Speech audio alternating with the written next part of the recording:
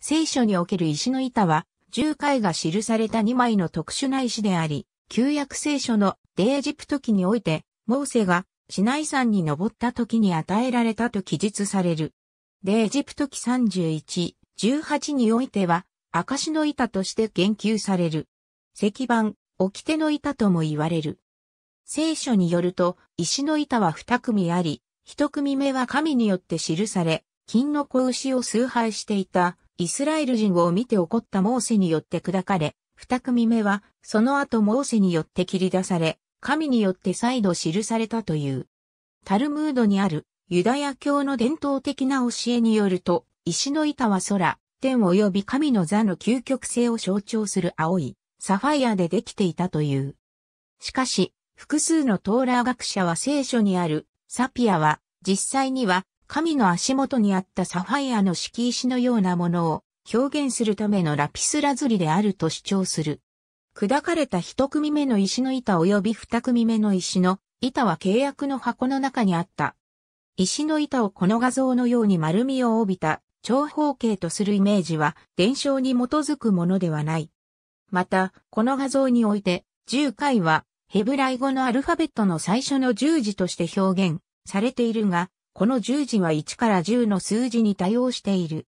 神の手によって渡される長方形の板、10世紀、ビザンティン、パリシ編。現代では、石の板は一般に上部が円形の長方形として描かれるが、これはほとんどユダヤ教やキリスト教の伝統に基づいていない。ラビの伝承では、石の板は角の尖った長方形であり、実際に3世紀のドゥラエウロポスのシナゴーグの絵画や10世紀までのキリスト教美術、ユダヤ教の伝統的な図像学においては、そのような形で描かれた。丸みを帯びた石の板は、メモを取るための粘土板の形や大きさの影響を受けて、中世に現れた。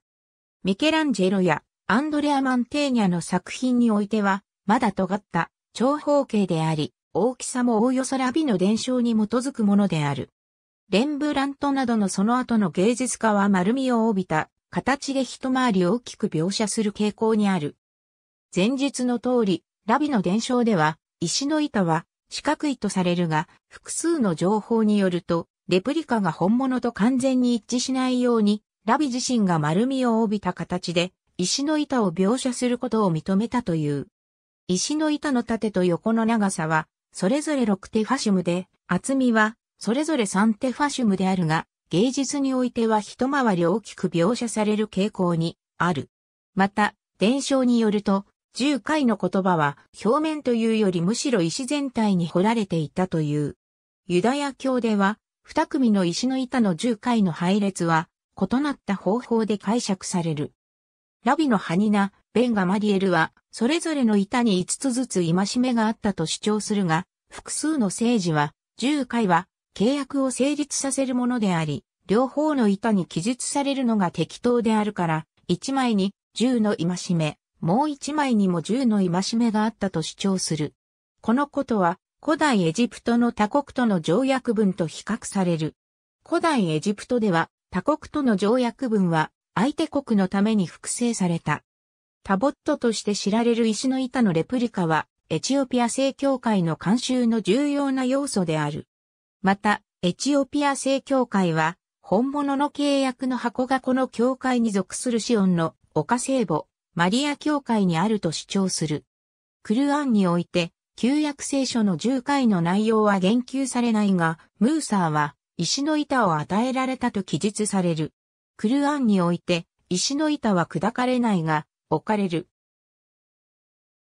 で、エジプト記31、18で、エジプト記32、18で、エジプト記34、1ステープルズ、WE、ラピスラズリ、インザインタプリタ、S ディクショナリーオブザバイブル、ボリューム3、P72、ボバボトラ 14A、エクセプト4、A バリアントトラディションウェア、A スクロールイズショーン、オンリーノーフロムクリスチャンイグザンプルス、ハコートン、レブハイムスクエアード VS ラウンデッドタブレッツ、ボバボトラ 14A で、エジプト期、32、15ハットラビーシュマイル、ホロビッツ、レビン、エド、マクルタ、ピアニッシモ、233、トラクテイトではホーデッシュ、ゴーハット、マーギャリオット、ドクターメシューラム、ホワットWas Written、on the Two Tablets、Bar-Ilan University、2006年9月20日閲覧。